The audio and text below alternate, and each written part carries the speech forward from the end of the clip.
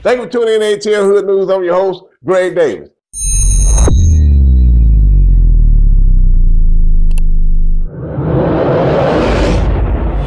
Hey, we're gonna have a great show like we always do right here at ATL Hood News, man. Hey, look here.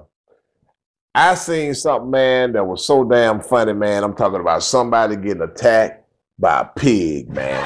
Y'all check this out right here on ATL Hood News, man. It is hilarious.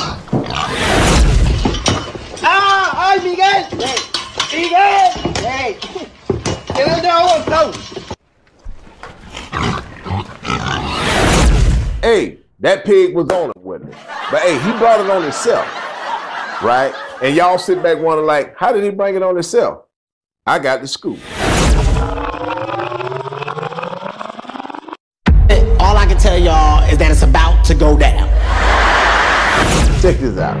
Now, he was walking out the house, going out there to feed the pigs, right? And his wife turned around and asked him, what did he want to eat for breakfast? He turned around and said, bacon. The pig thought he was coming at him, trying to kill him, and that's why he went the hell off like he did. Can you blame me? We'll be right back.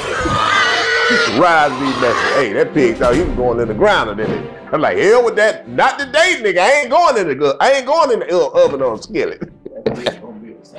Oh, sandwich, yeah. I'm not on bread either. Not today.